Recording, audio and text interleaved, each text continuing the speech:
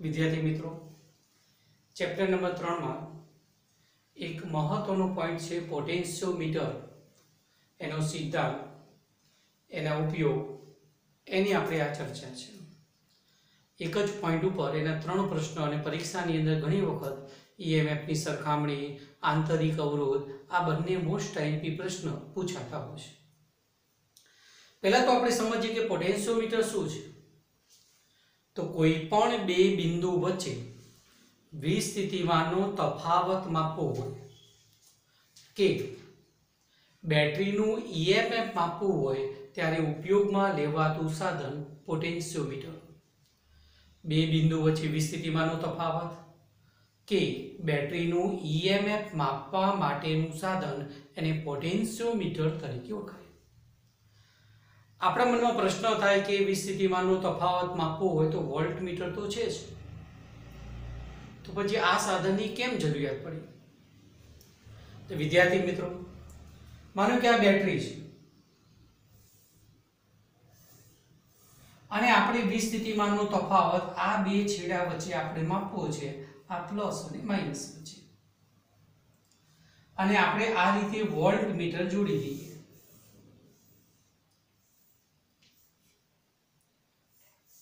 આ રીતે વોલ્ટમીટર જોડીએ ને, તો પ્રવાહ પ્લસમાંથી માઇનસ તરફ પસાર થાય. અને વોલ્ટમીટરમાંથી પ્રવાહ પસાર થાય, ત્યારે જ એનો દર્શક આવર્તન બતાવે. હવે જ્યારે વોલ્ટમીટરમાંથી પ્રવાહ પસાર થાય વોલ્ટમીટરને અવરોધ હોય, તેથી વોલ્ટમીટરના બે છેડા વચ્ચે વોલ્ટેજ ડ્રોપ થાય. આ ઉપરાંત આ જે વીજ કોષ છે, એનો આંતરિક અવરોધ હોય. ત્યાં પણ વોલ્ટેજ લોસ થાય. તેથી આ વોલ્ટમીટર આ જે વીજ કોષ છે, એનું જે ઈએમએફ ઈ છે, તેના કરતા વિસ્થિતિમાનનો તફાવત વી નાનો માપે ધારો કે આ એક પોઈન્ટ પાંચ વોલ્ટ હોય.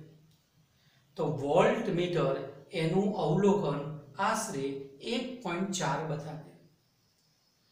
એનો અર્થ એવો થાય કે વોલ્ટ મીટર જે કંઈ રીડિંગ બતાવે છે ઈરર વાળું થોડુંક નજીકનું, પણ ખામી વાળું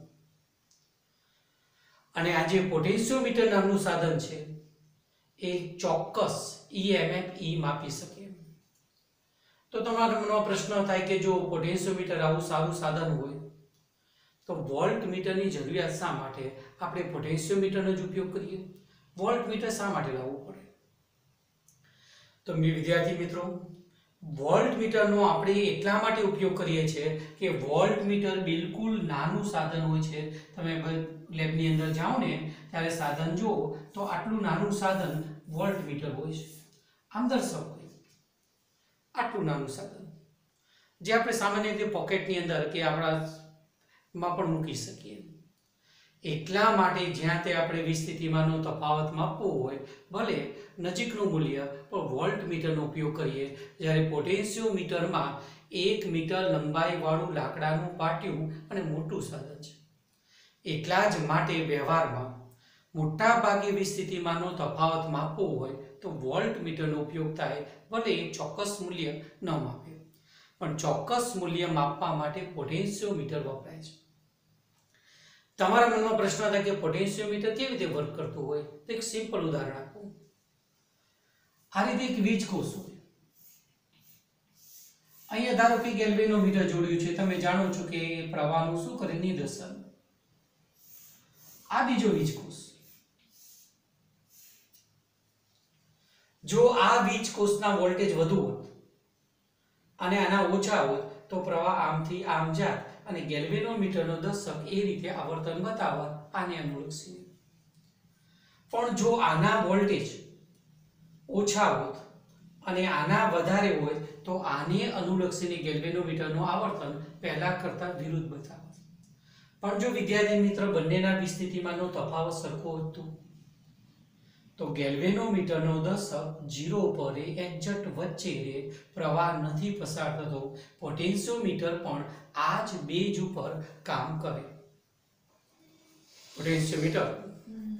પ્રયોગશાળાની અંદર કેવું હોય તો એક લાકડાનું એક પાટી હોય.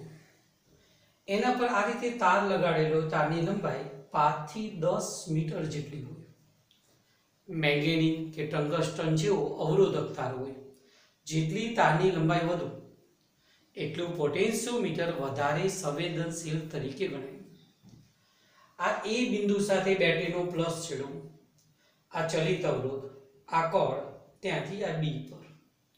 આ તાર છે સ્મોલ એલ લંબાઈના ટોટલ તાર. એક એક મીટર લંબાઈને એટલે ટોટલ લંબાઈ કેટલી છે? તો એક, બે, ત્રણ, ચાર, પાંચ, છ મીટર લંબાઈ મેં અહીંયા બતાવી છે. આ તમને જે દેખાય છે ધાતુની સુવાહક પટ્ટી હોય. ધાતુની પટ્ટી પ્લેટો હોય. અને આ લાકડાના પાટિયા ઉપર આ બધું ફિટ કરેલું હોય. અને આ પ્રકારની એની ગોઠવણી આવે. બેટરીમાંથી પ્રવાહ પસાર થાય અને આ પ્રવાહ તારમાંથી પસાર થાય તો એથી સ્મોલ એલ અંતર. વી સ્થિતિમાનનો તફાવત. એને વી પણ કહેવાય અથવા એલ અંતરે વી સ્થિતિમાનનો તફાવત ઈ સકૌંસમાં એલ લખીએ, બરાબર લખાશે ફાઈ, સ્મોલ એલ. આ તમે જે ફાઈ જુઓ છો, એ એકમ લંબાઈ દીઠ વોલ્ટેજ ડ્રોપ બતાવે, એકમ લંબાઈ દીઠ.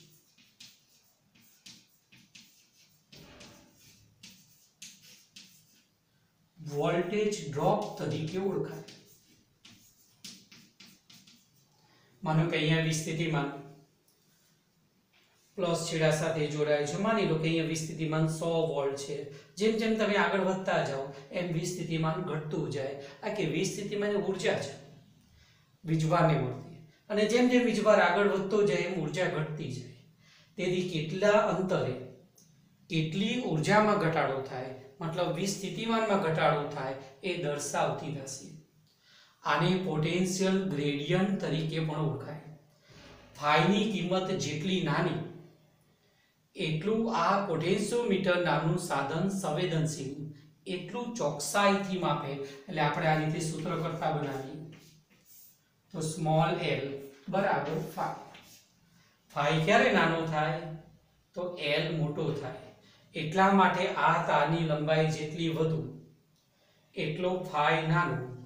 પોટેન્શિયોમીટર વધારે સંવેદનશીલ એ માઇક્રોના ક્રમમાં પણ વોલ્ટેજ માપી શકે. આપણા શરીરમાં જે નર્વસ સિસ્ટમ હોય અથવા ઇસીજી કરાવી ત્યારે બે ટર્મિનલ વચ્ચે, બે સ્નાયુ વચ્ચે પોઈન્ટ લગાવવામાં આવે છે. એવું સામાન્ય પોટેન્શિયલ ડિફરન્સ પણ પોટેન્શિયોમીટર નામનું સાધન માપે છે.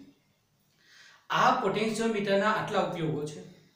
પોટેન્શિયોમીટરનો એક ઉપયોગ. બે બેટરીના ઈએમએફની સરખામણી કરવી. પોટેન્શિયોમીટરનો બીજો ઉપયોગ. બેટરી હોય, વીજ કોષ હોય, એનો આંતરિક અવરોધ શોધવો. અજ્ઞાત બેટરીનું ઈએમએફ શોધવો. અને સૂક્ષ્મ વોલ્ટેજ માપન તરીકે પણ પોટેન્શિયોમીટરનો ઉપયોગ થાય. આમ પોટેન્શિયોમીટર ખૂબ જ ચોકસાઈથી બે બિંદુ વચ્ચેનું વિસ્થિતિમાનનો તફાવત અથવા વીજ કોષનું ઈએમએફ માપતું એક સાધન તરીકે ઓળખાય છે. વિદ્યાર્થી મિત્રો મોસ્ટ આઈમ્પી થિયરી પોટેન્શિયોમીટરની મદદથી બે બેટરીના ઈએમએફની સરખામણી કરવી આકૃતિ જુઓ. આ પોટેશિયોમીટરમાં એ સાથે આ વીજ કોષ, આ ચલિત અવરોધ, આ કળ અને બી જે બે વીજ કોષને ઈએમએફની સરખામણી કરવી છે, એનો ધન છેડો એ સાથે. બંનેનો ધન એ સાથે. અને ઋણ છેડો જે છે, આ ત્રિમાર્ગીય કળ સાથે જોડાયેલો છે. પ્રથમ વીજ કોષનો છેડો એક સાથે. બીજા બીજકોષનો છેડો બે સાથે અને ત્રણ નંબરના સાથે જોકી કળ અને સ્પર્શક ચાવી કહેવાય, તાર ઉપર સરકાવો અને તટસ્થ બિંદુ મળે. મતલબ અહીંયા ગેલ્વેનોમીટરમાંથી વહેતો પ્રવાહ જીરો થાય. એને તટસ્થ બિંદુ તરીકે ઓળખાય. આમાંથી પ્રવાહ પસાર ન થાય. એવું બિંદુ, આ તટસ્થ બિંદુ, આ બીજા વીજ માટે આ તટસ્થ બિંદુ તરીકે ઓળખાય. નલ પોઈન્ટ અંગ્રેજી શબ્દ પ્રયોગ થાય. હવે આપણે આ બંનેનું જોડાણ કરી એક અને ત્રણનું. તો તમે જોઈ શકો છો કે પરિપથમાં પ્રથમ વીજકોષ જોડાય. અને આ કળ, જોકી કળ, તાર ઉપર સરકાવીએ અને તટસ્થ બિંદુ ક્યાં મળે છે? એન વન પર. ત્યારે ગેલ્વેનોમીટરમાંથી વહેતો પ્રવાહ 0 એટલે આ ભાગમાંથી કોઈ પ્રવાહ પસાર થતો નથી. આવા સંજોગોમાં એ એન n1 ગેલ્વેનોમીટર જી એક અને ત્રણ, એટલે ત્રણ. એક. અને પ્રથમ વીજકોષ E1 એ અને કિર્ચોફના બીજા નિયમનો ઉપયોગ આ બંધ ગાળા માટે કરીએ. તો એ થી n1 તો વિસ્થિતિમાનનો તફાવત ફાઈ એલ વન ગેલ્વેનોમીટરમાંથી તો પ્રવાહ ન પસાર થાય, તેથી ગેલ્વેનોમીટરના બે છેડા વચ્ચે વિસ્થિતિમાનનો તફાવત છે. વીજકોષ એનો ઈએમએફ માઇનસ E1 બરાબર જી આના પરથી તમે કહી શકશો કે ફાઈ એલ વન બરાબર ઈ વન આ પ્રથમ વીજકોષ માટે આ પ્રકારનું સૂત્ર લખાય. આમાંથી પ્રવાહ પસાર ન થાય તો આનો જે ઈએમએફ છે એટલું જ વિસ્થિતિમાનનો તફાવત આનો થાય. કેમ કે પ્રવાહ પસાર ન થાય, ત્યારે આ પ્રકારની ગોઠવણી થાય. એટલે ઈએમએફ ઈ એટલું જ વિસ્થિતિમાનનો તફાવત એ અને એન વન વચ્ચે. આ જ રીતે બીજા વીજકોષ માટે વિચારીએ. A N two capital G અને કો થ્રી માર્ગીય કળમાં કોને જોડીએ છે? બે અને ત્રણને. તો ત્રણ, બે. બીજા નંબરનો વીજ કોષ A. અને કિર્ચોફના બીજા નિયમનો ઉપયોગ આ બંધ ગાળા માટે કરીએ. તો શું થશે? A થી N2 તો વિસ્થિતિમાનનો તફાવત phi L2 ગેલ્વેનોમીટરમાંથી પ્રવાહ પસાર ન થાય, તેથી વિસ્થિતિમાનનો તફાવત જીરો માઇનસ E2 બરાબર જીરો આના પરથી તમે કહી શકશો કે phi L one phi L two બરાબર એ ટુ સમીકરણ નંબર 2 સમીકરણ 1 અને 2 નો ગુણોત્તર કરો, તો આ phi ઉડી જશે. તો E1 ઈ E2 બરાબર લખાશે L1 એલ L2 આમ, પ્રયોગશાળામાં બે વીજકોષ આપેલા હોય, એને EMF ની સરખામણી કરવી હોય, તો બંને વીજકોષને આ રીતે જોડાણ કરો. અને એના EMF નો ગુણોત્તર મેળવી શકાય. માનો કે આમાં કોઈ વીજકોષ જાણીતો હોય, એનું EMF નું મૂલ્ય જ્ઞાત અને પ્રેક્ટિકલની મદદથી તમે L1 અને L2 શોધી કાઢો. તો E1 જ્ઞાત છે. L1 L2 તમે શોધી કાઢ્યા છે. અને આ સૂત્રમાં તમે કિંમત મૂકી દો તો જે અજ્ઞાત વીજકોષ છે, એનું EMF E2 પણ આપણે શોધી શકીએ. પોટેન્શિયોમીટરનો બીજો ઉપયોગ. વીજકોષનો આંતરિક અવરોધ શોધવો આકૃતિમાં પોટેન્શિયોમીટર બતાવ્યું છે. એ સાથે વીજકોષ EMF E ચલિત અવરોધ, કળ K1 અને ત્યાંથી બી જે વીજકોષનો આંતરિક અવરોધ શોધવો છે, એનો એની સાથે સમાંતરમાં કળ K2 અને અવરોધ પેટી આરબી જોડેલી છે. આ વીજકોષનો ધન ધ્રુવ એ સાથે. અને અહીંયાથી ગેલ્વેનોમીટર અને ગેલ્વેનોમીટર ટુ જોકી કરો. આ વીજકોષનો આંતરિક અવરોધ શોધવો છે. એની સાથે સમાંતરમાં કળ K2 અવરોધ પેટી જોડેલી છે. આ કળ K2 ખુલ્લી રાખીએ અને K1 કળ બંધ રાખીએ અને જોકી કળ તાર ઉપર સરકાવીએ તો તટસ્થ બિંદુ મળે છે એન વન પર. ત્યારે A અને N1 વચ્ચે. વિસ્થિતિમાનનો તફાવત. E બરાબર લખાય A અને N1 વચ્ચેનું અંતર કેટલું? એ N1 બરાબર L1 કહી દઉં. તો A અને N1 વચ્ચે વિસ્થિતિમાનનો તફાવત E બરાબર લખાય, થાય L1 સમીકરણ નંબર 1 હવે આપણે કળ K2 બંધ કરીએ. અને ફરીથી તાર ઉપર જોકી કળ સરકાવીએ, તો તટસ્થ બિંદુ મળે છે N2 પર હવે આ ભાગમાંથી પ્રવાહ પસાર થતો નથી, પણ અહીંયા આ જે બંધ પરિપથનો ગાળો બતાવ્યો છે K2 વાળો, એમાંથી તો પ્રવાહ પસાર થાય જ એટલા માટે તટસ્થ બિંદુ પહેલા કરતા અહીંયા અને હવે એ અને એન ટુ વચ્ચે વિસ્થિતિમાનનો તફાવત વી કહેવાય અને એ વીની કિંમત એ ઈ કરતા નાની હોય એ અને એન ટુ વચ્ચે. વિસ્થિતિમાનનો તફાવત વી બરાબર લખાય phi L two A N two બરાબર લખાશે એલ ટુ તારની લંબાઈ એથી તારની લંબાઈ વપાય એન ટુ સુધી. એલ ટુ છે. અને આ L1 છે. આ બંને સમીકરણ 1 અને 2 નું આપણે ગુણોત્તર લઈએ. તો E v, આ ફાઈ કેન્સલ બરાબર લખાશે L1 L2 E ની જગ્યાએ શું લખાય? તો તમે જાણો છો કે E બરાબર લખાશે I, કેપિટલ આર વત્તા સ્મોલ આર ઓમનો નિયમ વોલ્ટેજ બરાબર પરિપથમાં વોલ્ટેજ પ્રવાહ ગુણ્યા અવરોધ. અને અવરોધના બે છેડે વિસ્થિતિમાન V બરાબર શું લખાશે? IR આ બંને કિંમત આ સમીકરણ નંબર 3 માં આપણે મૂકવાની છે. આ બંને કિંમત આ સમીકરણમાં મૂકી દઈએ E ની જગ્યાએ લખી દો I કૌંસમાં કેપિટલ R સ્મોલ r.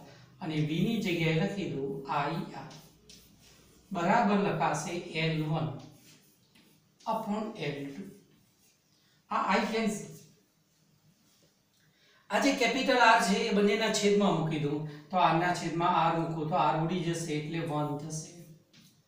આ કેપિટલ R સ્મોલ r ના છેદમાં મૂકો તો સ્મોલ r ભાગ્યા કેપિટલ R બરાબર L1 upon L2 1 વાળું પદ બરાબરની પેલી બાજુ જવા દઉં તો સ્મોલ આર ભાગ્યા કેપિટલ આર બરાબર L1 upon L2 minus one આ કેપિટલ આર છેદમાં છે તો પેલી બાજુ ગુણકમાં જશે. તો સ્મોલ આર બરાબર કેપિટલ આર કૌંસમાં L1 upon L two minus one આ જે સ્મોલ આર છે. એ જે ઉપરનો જે વીજકોષ છે, એનો આંતરિક અવરોધ ગણાય. જો આ સૂત્રમાં તમે L1 અને L2 ની કિંમત મૂકો, R ની કિંમત મૂકો, તો વીજકોષનો આંતરિક અવરોધ શોધી શકાય. મોટાભાગે ટૂંકા પ્રશ્નની અંદર કેવી રજૂઆત હોય કે કળ કેટો ખુલ્લી હોય, ત્યારે તટસ્થ બિંદુ, માનો કે ત્રણસો પચાસ સેમી અંતરે મળે એ એલ કહેવાય. જ્યારે કળ K2 બંધ હોય, ત્યારે તટસ્થ બિંદુ માનો કે એકસો દસ સેમી અંતરે મળે, તો એકસો દસ એલ ટુ કહેવાય. આર આપેલો હોય, આંતરિક અવરોધ શોધી શકાય. જે વીજકોષ ડ્રાય હોય, સૂકા કોષ હોય, એનો આંતરિક અવરોધની કિંમત વધારે આવે. પણ જે વીજકોષની અંદર પ્રવાહી વિદ્યુત દ્રાવણ લિક્વિડ ફોર્મમાં હોય, પ્રવાહી સ્વરૂપે હોય, એ વીજકોષની અંદર આંતરિક અવરોધની કિંમત મોટા ભાગે નાની આવે વિદ્યાર્થી મિત્રો, તમને મારો આ વીડિયો પસંદ આવ્યો હોય તો લાઈક કરો. અને જો તમે આ ચેનલ પર નવા હોય તો સબસ્ક્રાઈબ કરી બેલ આઇકન પર ક્લિક કરો. જેથી મારું નોટિફિકેશન તમને મળતું રહે અને વધુને વધુ વિદ્યાર્થીને શેર કરો.